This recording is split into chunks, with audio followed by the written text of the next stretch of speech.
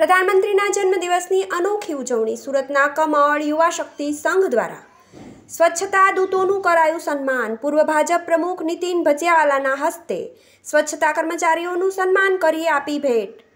પ્રધાનમંત્રી નરેન્દ્ર મોદીએ સ્વચ્છતા કર્મચારીની સ્વચ્છતા દૂતો તરીકે આપ્યું છે બહુમાન. પ્રધાનમંત્રીના જન્મદિવસની પૂર્વ સંધ્યાએ સુરતના સ્વચ્છ રાખનાર સ્વચ્છ દૂતોને કરાયા સન્માનિત. પ્રધાનમંત્રીના ચોપન વર્ષ પૂર્ણ થતાં પંચોતેર સ્વચ્છતા દૂતોને કર્યા સન્માનિત.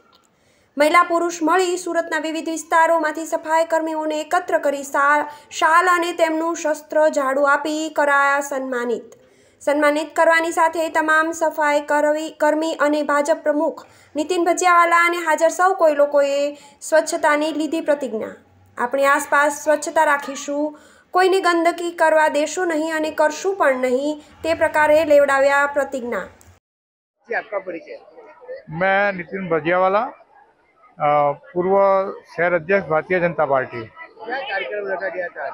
अ, आदरणीय लोकप्रिय वड़ा प्रधान नरेंद्र भाई मोदी का कल जन्मदिन है और नरेंद्र भाई का एक संकल्प है कि देश को स्वच्छ करना है और उसके लिए कड़ी मेहनत वो खुद भी करते हैं और लोगों को भी अपील करते हैं कि अपना शहर, अपना देश स्वच्छ करिए। और शहर को, देश को स्वच्छ रखने में जो स्वच्छता दूत है नगर पालिका महानगर पालिका के जो स्वच्छता दूत है, उसकी कड़ी मेहनत रहती है।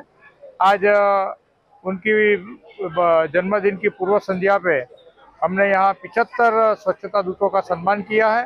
उनके साथ चाय पानी का कार्यक्रम रखा है और सबको अपील करते हैं कि स्वच्छता दूत का सम्मान तो तब होगा जब हम खुद गंदगी करना बंद कर देंगे और नरेंद्र भाई की जो बात है उसको सपोर्ट करेंगे।